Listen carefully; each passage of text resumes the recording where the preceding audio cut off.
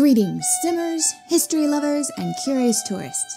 I am the lady, I love history, and I play The Sims. There are a lot of kings, quite a few coups, and perhaps a beheading or two. One quick disclaimer I am not a historian, just a layman who loves the game, so feel free to fact check me in the comments below, but do it nicely. We are here to have fun and learn, not to start wars. Historical Create a Sim videos are uploaded on the 1st of the month and speed builds on the 15th. If you want to learn more about how the channel works or have ideas for future videos, stay tuned till the end to learn more. Now, without further ado, let's make Sims history.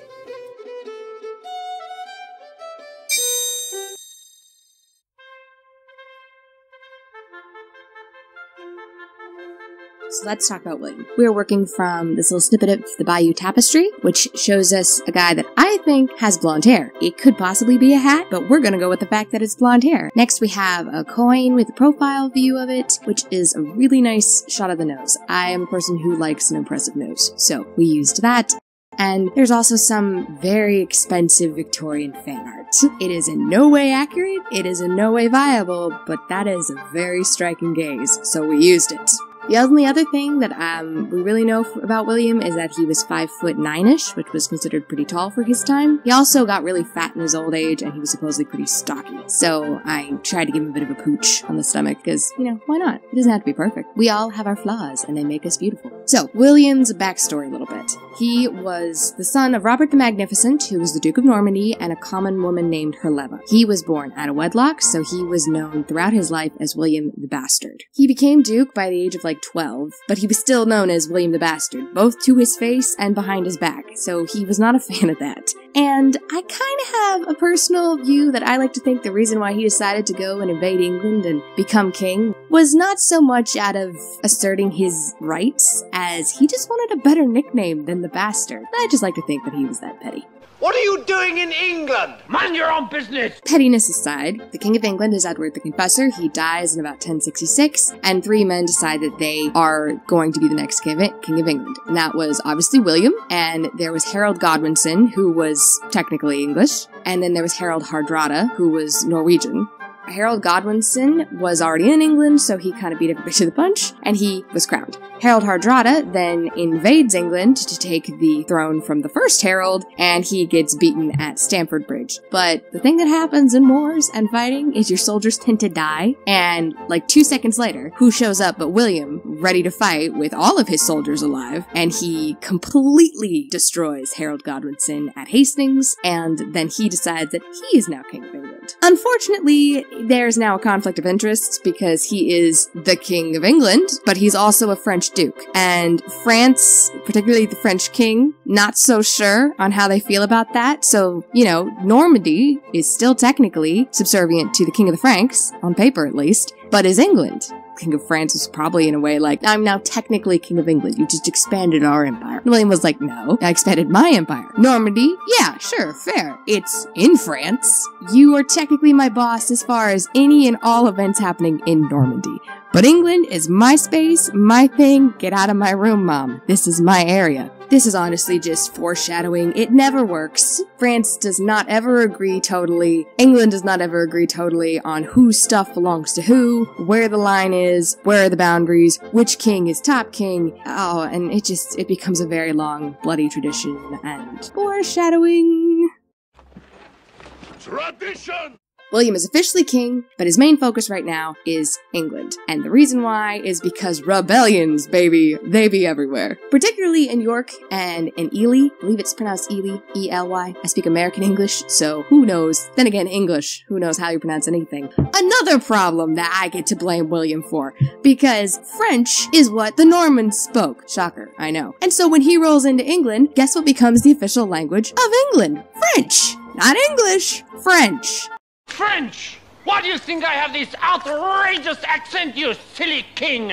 And then, you know, after a few centuries of blending together, we get the nightmare of a language that we have today, which is why we don't pronounce it Bologna, we say baloney, even though it is spelled Bologna. And it's also why baloney rhymes with pony, even though they are in no way spelled the same, and I hate English so much, even though it's my first language. Oh, I blame you, William. Why couldn't you have just learned a local language? What was what was so hard? I could have been sounding like a Viking right now and speaking Old English instead of this monstrosity gargle sound that is modern English. Oh gosh, I hate it so much. Okay, back back on track lots of rebellions. William's king. He, he has to keep putting them down as they keep happening. Because who knew common, you know, the common people would be a problem? Oh, shocking. Who would have thought the people that you're suppressing would, oh, I don't know, get mad? He decides to be a bit more heavy-handed. So first thing he does is castles. The reason why England's got such pretty castles, actually mostly Wales, is the Normans. William the Conqueror was like, best way to keep control of the populace is to have a giant stone structure that they can't get in or out of unless I say it's okay. Next, no more Anglo-Saxons, no more Scandinavians, no more Britons. Maybe the Jutes were actually still around. I'm not entirely sure what happened to the Jutes. Well, if there were Jutes. None of those people who were in the nobility, they're out. Across the board, the people in charge now are the Normans. They get to be the vassals. They get the high-ups. All the other people are either dead or seriously demoted. Once again, that really solidifies that whole we speak French now business. And then finally, something that we all know him very well for is the Domesday Book. Giant census of everything, everyone, all the money, all the people, all the land. Not only can he now see all of the possible rebellions happening from his tall, tall castle, he has a list of names to know who exactly he needs to off. But he did accomplish at least one goal I think he secretly had, which was to get a better nickname, because history now knows him as William the Conqueror, not William the Bastard. Slaughterer might be more accurate, but Conqueror does have a much nicer ring to it. Long live the king.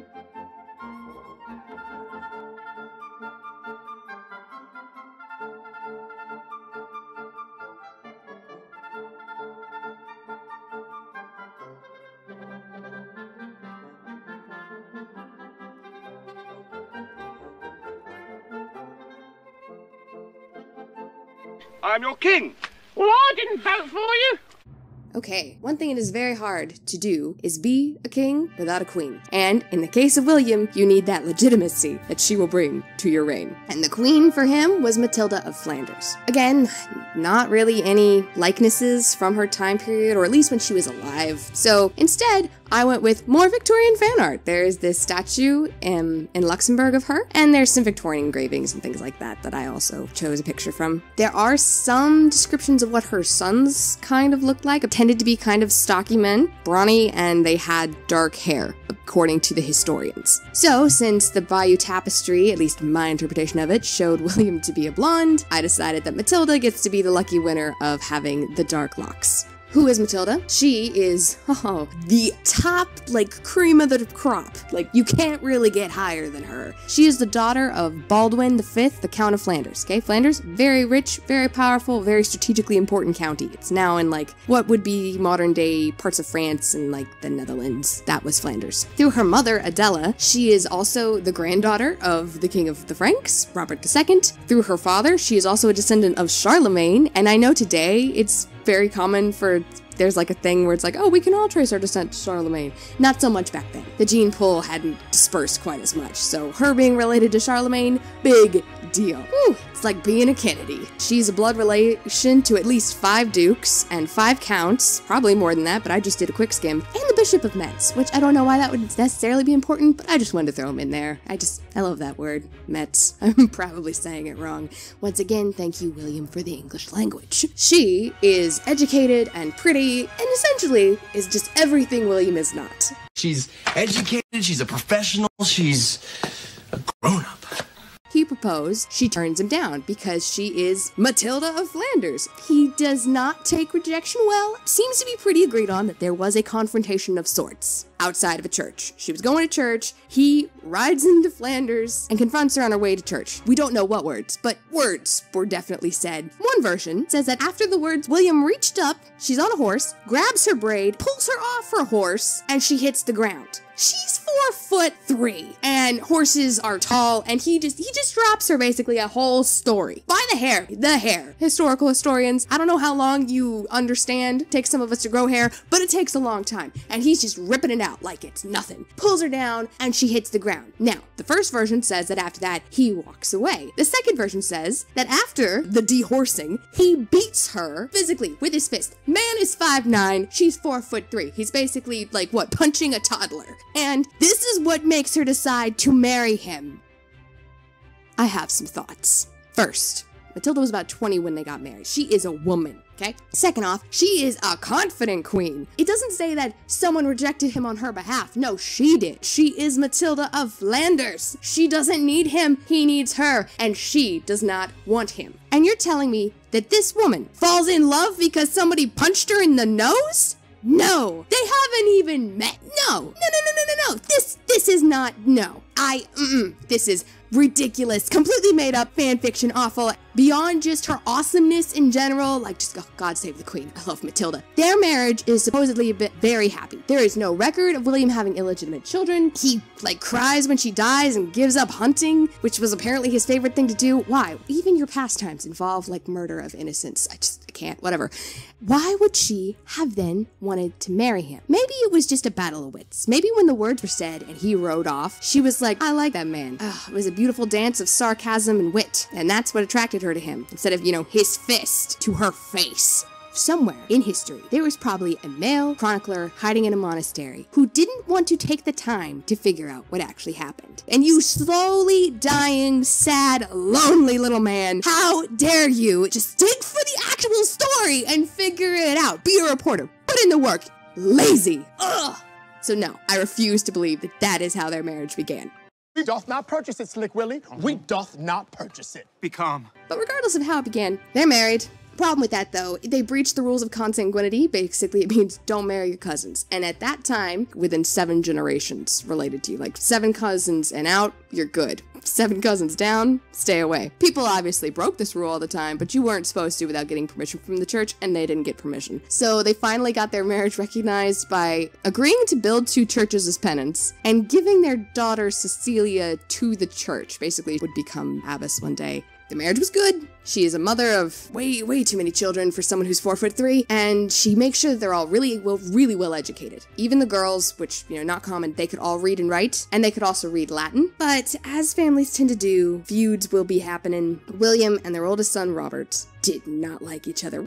Robert especially rubbed him the wrong way. He wanted to disinherit him. We'll get into that later. And Robert decides to try to rebel, and so he goes to his uncles on his mother's side, the King of France, and he's like, "Hey, I want to be Duke of Normandy without Dad's oversight. Just, I really just want any reason to, you know, mess with his day." Does not, does not end in his favor. So Matilda tries to smooth it over, but she also kind of sent Robert a whole bunch of money while he was in exile. William was not happy when he found out, and yet somehow she still managed to have them come together for a truce on Easter. It was so nice. It doesn't last, but poor woman tried. She just wanted a nice family dinner. Just be nice to each other. Be nice. As queen, she really spends more of her time in Normandy acting as regent, but she does come to England after William is crowned king, and she ha- she sets up a coronation for herself to be crowned queen. William is re-crowned king, but there's three new phrases incorporated to the ceremony, emphasize how important she is as queen. Queens are divinely placed by God. They share in royal power. They have like their own distinct role, and people will be you know blessed by her virtue and whatnot. And that is how queens of England start having way more importance as far as the coronation goes. Before then, some were crowned, some weren't, but nobody really cared because it was like, oh, she's the wife. Like, you know, she can have a nice ceremony, but if you get married in a courthouse or if you get married in a cathedral, you're still married. Not so after this. She she managed to set up a precedent of it being very important that queens of England are crowned, and later down the line, with Henry VIII and his plethora of wives, that's going to become a sticking point. Good job, Matilda. Setting up the, the dominoes there. More controversy. I can't wait. But one thing is for sure, oh, I'm such a fan. Matilda is the undisputed queen.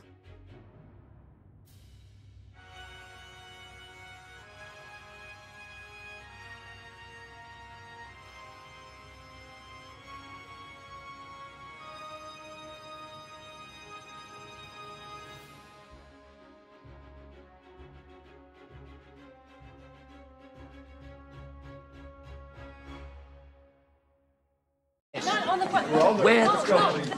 Be the crown.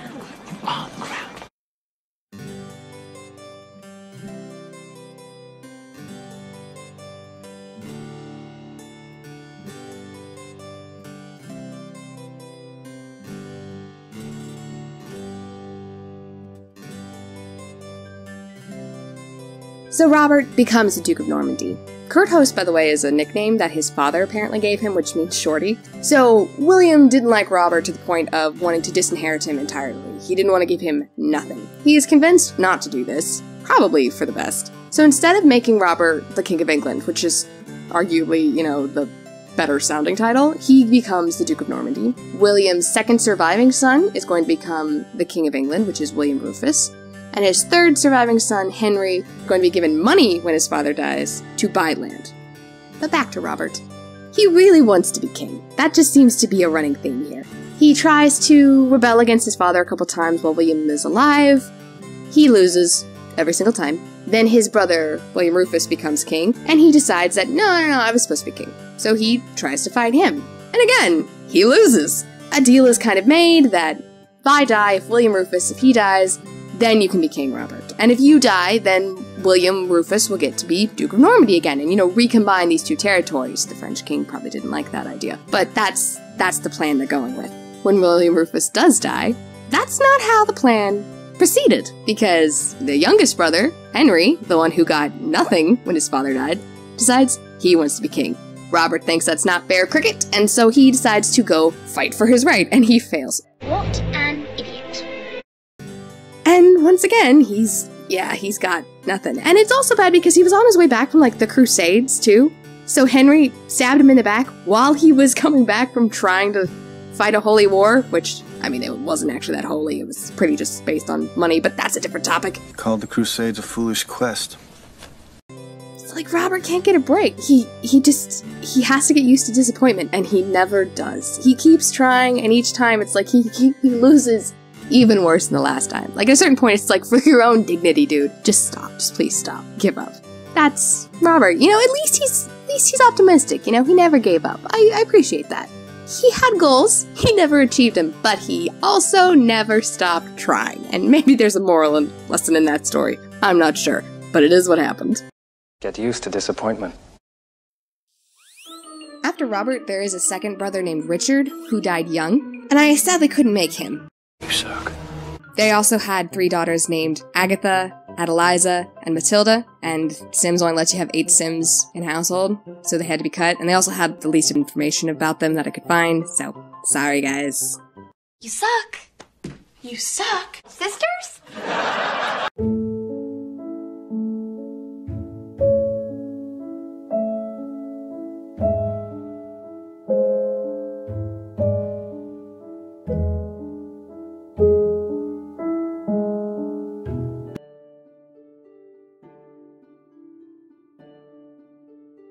Cecilia, also known as Cecily sometimes. So she becomes an abbess. She is really well educated, just like the rest of her siblings, but as an abbess, she gets to run the Abbey of the Holy Trinity. She gets a lot of money from her relatives, you know, to support it, because why not? She's related to like every crown head in Europe. And she gets to study and she gets to promote arts and she gets to help the people of her area and she apparently did a very good job of running it. And she has such an uncomplicated life compared to the rest of them. Like, it's so calm, so peaceful. I feel like if there is a favorite child, I don't think William really liked any of his children, but if he did, I think it would be her. I'm probably judging this way too harshly. I'm still going to, though. At first, when I learned about her, I pitied her for being the one, you know, shipped off to boarding school and never let come home. But now, I see you, Cecilia, and I kind of want to be you. Like, if if I had to time travel, yours is the spot I want. Yay, Cecilia. Good for you. She's not doing too bad. I feel like in a different life she might have been like a professor or an academic, but Abbess is probably the closest equivalent we can get. Can I just read? We need to talk real quick about murder in this family. It is a very prevalent thing. That older brother Richard, who couldn't fit in our family, RIP, he died in a forest on a hunting trip, supposedly by accident. Okay, and this happened before his father died, so he didn't have a throne for anybody to try to take away. William Rufus here, who becomes King of England, you know, thanks to William the Conqueror's stupid division system, also dies in a forest on a hunting trip, supposedly by accident. No one knows who shot the arrow that done him in. His younger brother Henry, the one who got no land, is in that forest. Highly suspicious, but there's not forensic science in this time period, so who's to say who actually did it? I know who I think did it. Just feel like if you're a king, don't invite your brothers to family events, especially ones that involve heavy weaponry or violence in any way, shape, or form, unless you're playing oh Uno. Well, actually, that can be pretty violent. Unless you're just, you know, sitting in chairs, staring in silence. Just don't hang out with your family. You are a king. Understand that you do not have brothers, you have rivals. It was just a tragic accident in the woods with no witnesses. Murder? What murder? So, William Rufus. He's called Rufus apparently because he had very ruddy cheeks. I used to think it was because he was a redhead, but according to that one historian, he had dark hair. I don't know who's right. He has dark hair, and I tried to give him some less death complexion cheeks. He had a lot to deal with this king. Like I said, Robert was always there, a rebellion. The English are still not happy over the fact that they can't speak French, and that's who's in charge. Doesn't seem to have been a bad ruler administrator in any way, shape, or form. The only thing that caused any real controversy outside of the family squabbles is the fact that he was most likely bisexual, so when he dies, he didn't have any kids. It just becomes a free for all, which means just more rebellions. Why is everyone rebelling? Like, why can't you just, oh, for heaven's sakes, just be happy with the chair you got and just sit in it? He died in the year 1100. Way to start a new century by killing the king. Oh, I'm sorry, by the king dying by accident. That's how he died. That's plausible.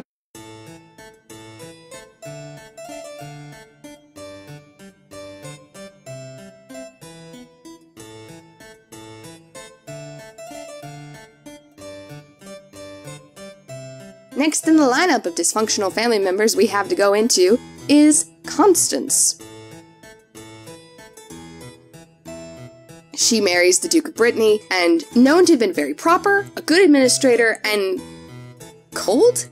But then others just say that she was shy, so I feel like it depended on who you ask whether or not Constance was a nice person. But she did her job really well.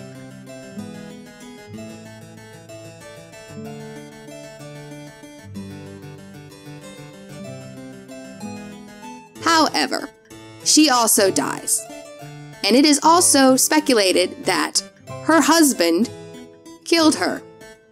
Because he didn't seem too sad about it when she died, and they had no kids, so they were like, maybe he offed her so he could get an heir. And ah, just another murder in this family. At least this time it wasn't via a blood relation. So, you know, progress. It was just you married into the murder. But can we just stop with the killing, please? Can we talk about our problems? Maybe go to therapy? There's gotta be a nun or a monk somewhere with a listening ear and nothing else to do during their day. Everybody else I feel like was pretty busy, you know, with the wars and the famines and the working. But just can we please stop with the murdering? Also, Constance just seems like she wanted to just do her job and be left alone. Kill Robert if you're gonna kill someone. Don't kill Richard and William and Constance, the ones who don't seem to be doing anything. Just? Why are the fates so unkind? But here we are. Murder. Murder, murder, murder, murder, murder! Hello, sir! Murder! Then we have Adela, Countess of Blois. It is spelled B L O I S. So in English, I want to call her Countess of Blois. But no. I asked someone who speaks French. It is apparently Blois. I hate English so much. Also, spelling. What is with this spelling? I just. Mm, it's fine. Anyways, Adela, Countess of Blois. She has a happy marriage. Yay! Finally! No murdering! She gets married to the Count of Blois. They have several children. They seem to respect each other and like each other, and she is a good countess and a ruler and administrator alongside her husband. Doesn't seem to get involved in her brother's rebellions. I did give her the pasty complexion. Sorry about that. I'm just seeing that right now, but yeah, she pulls it off. Anyways, she seems to have a good life. One flaw with Adela. She has a son, or a spawn, if you will, called Stephen. Stephen is going to later decide he wants to be King of England. Why, I do not know, but apparently it seems to be the best throne going. He is going to get in a fight with his cousin Matilda over it, because even though Matilda is a descendant of William the Conqueror through the male line and her father was king, he is a man. And even though he's descended through the female line, that should put him on top. For some reason, this becomes discussion point of the decade, all because of which parent and gender lining up would be the better idea. You're pathological. It's too late for flattery. Why can't they just, you know, fill out a resume and then just be judged by that? But no. War. Of course it's war. It's always war. And I love it. Oh, I just, the drama. So, Adela is the mother of Stephen. So even though I really want to like you, Adela, I have to blame you for that. Just the anarchy that will follow. Thank you. Why couldn't you just raise your kids to be happy with what they have and not just go take other people's stuff? But no, I, I feel like Adela was probably one of those parents who like put the kids' personal happiness over like teaching them life skills, personality. It's fine. It all works out fine. I mean, not for the people who get slaughtered, but for the rest of us who have hindsight, we're good. Yeah. We want them to be happy.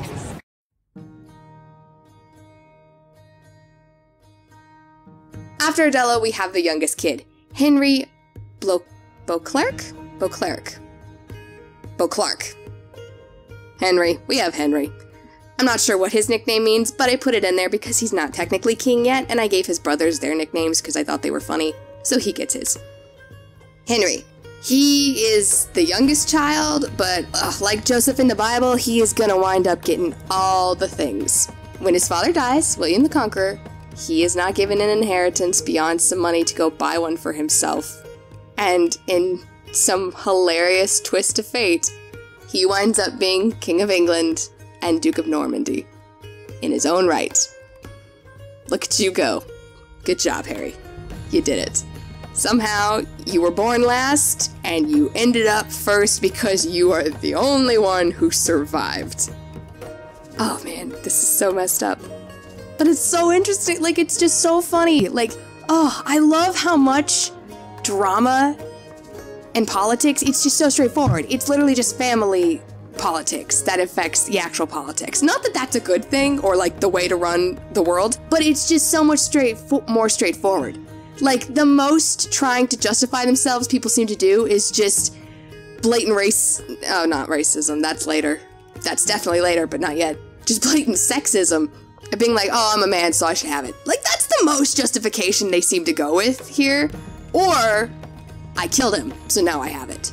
Which is, again, not a good reason, but straightforward. You know, there's no trying to, like, convince anybody that they are justified beyond the fact of, I saw it, I want it, I took it. Or, she has weaker arms, I saw it, I want it, I took it. And I just, I appreciate that simplicity. And I also appreciate the fact that I feel like if you were in a country and you could just like see how dysfunctional that family was, you'd be like, hmm, 10 kids? They're probably gonna be in power for at least a century. Anybody feel like we should move to Italy? It's sunny there. It just, I appreciate the straightforwardness of that. It's much simpler just to know when to get out of Dodge.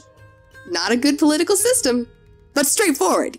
Supreme executive power derives from a mandate from the masses. Hey, what's with the strange breeze? They is my family.